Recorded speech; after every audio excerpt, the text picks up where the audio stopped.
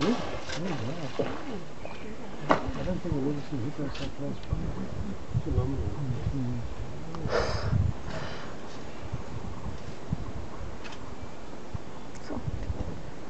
Huge. Doesn't sound like hippo. Another one.